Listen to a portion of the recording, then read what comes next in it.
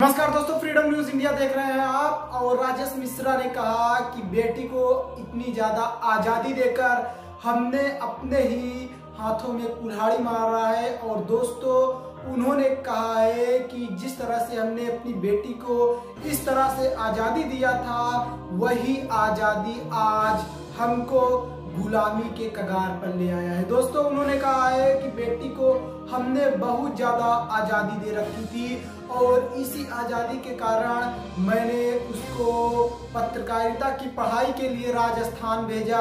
यानी कि दोस्तों, ये आप जान लीजिए कि राजेश मिश्रा ने बेटी को मास कॉम कराने के लिए राजस्थान भेज दिया था। फिर भी राजस्थान में मास कॉम का क्या पढ़ाई कर रही थी, वो साक्षी मिश्रा ही जाने।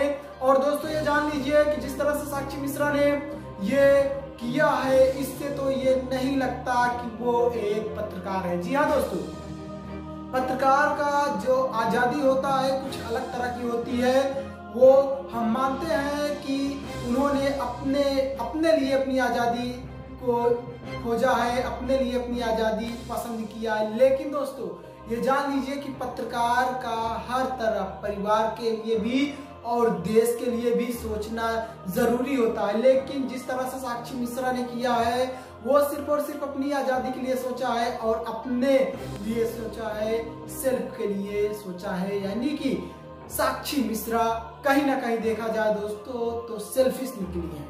और इसी वजह से राजेश मिश्रा ने कहा है कि बेटी को मैंने आज़ादी बहुत ज़्यादा दे रखी थी और मैं सोचता था कि बेटी मेरी आने वाले समय में बड़ी पत्रकार बनके मेरा नाम रोशन कर